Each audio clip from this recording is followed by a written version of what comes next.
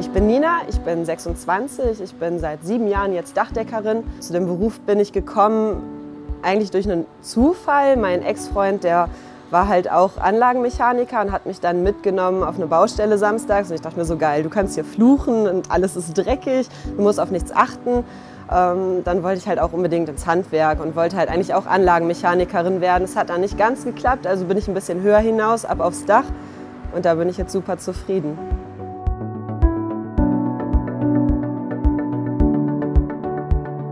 Klar, die Höhe und so, ich muss mich auch erst dran gewöhnen.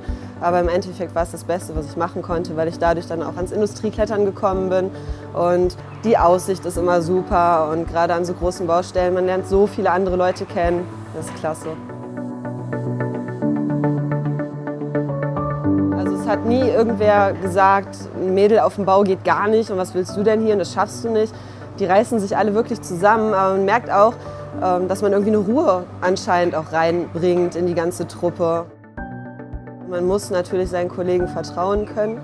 Man muss wissen, was macht der andere gerade, aber das klappt super. Also man ist wirklich ein Team, man weiß, was macht der andere gerade und wenn man was braucht, man sagt ihm Bescheid und das kommt auch bei einem an. Ähm, der Ton untereinander passt, also es ist jetzt keiner, der sagt, Mensch, du Arsch. Wir sagen auch zu unserem Lehrling eigentlich selten, Mensch, du bist ja nur ein Azubi. Also wir sind wirklich so eine kleine Familie, weil man verbringt ja so viel Zeit mit den Jungs auch zusammen. Das ist schon ganz toll.